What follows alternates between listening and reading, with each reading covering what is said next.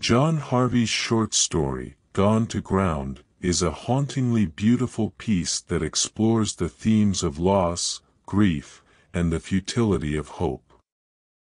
Set in the idyllic countryside of England, the story follows the protagonist, a man who has lost his wife to cancer, as he struggles to come to terms with his loss and find some sense of closure.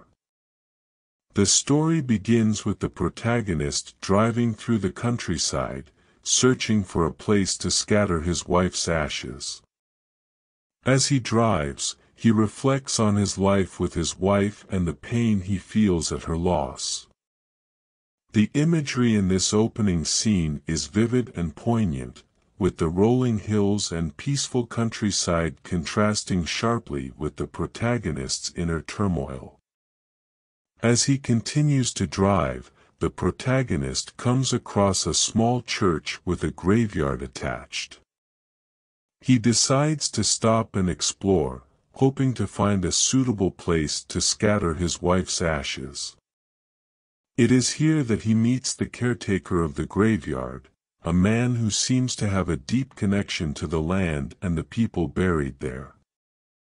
The interactions between the protagonist and the caretaker are fascinating, with the caretaker offering words of wisdom and comfort to the grieving man. He tells the protagonist about the history of the graveyard, about the people buried there, and the secrets that lie beneath the ground. Through these conversations, the reader gets a sense of the deep connection that the caretaker has with the land and the people who have passed through it. The imagery in this part of the story is particularly striking, with Harvey painting a vivid picture of the graveyard and the surrounding countryside. The descriptions of the graves, the trees, and the wildlife all add to the sense of atmosphere and mood. As the protagonist continues to explore the graveyard, he comes across a particular grave that catches his attention.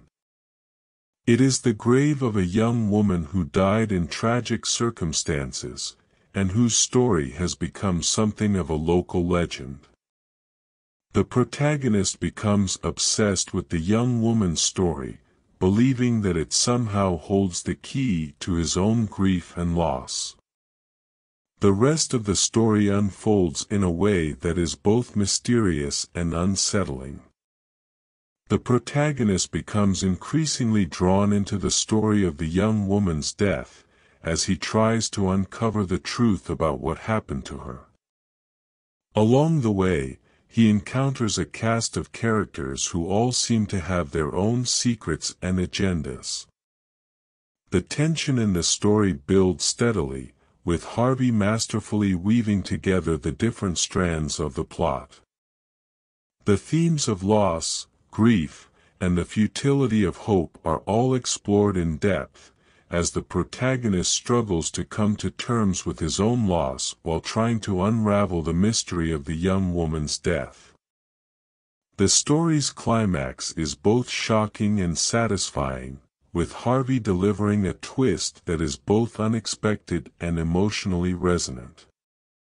The ending is poignant and beautiful, with the protagonist finally finding the closure he has been searching for.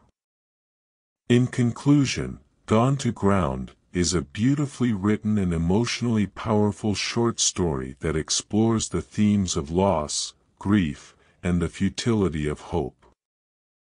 Harvey's writing is masterful, with vivid imagery and a haunting atmosphere that draws the reader in and holds them spellbound until the very end. Highly recommended for anyone who enjoys literary fiction that is both thought-provoking and emotionally resonant.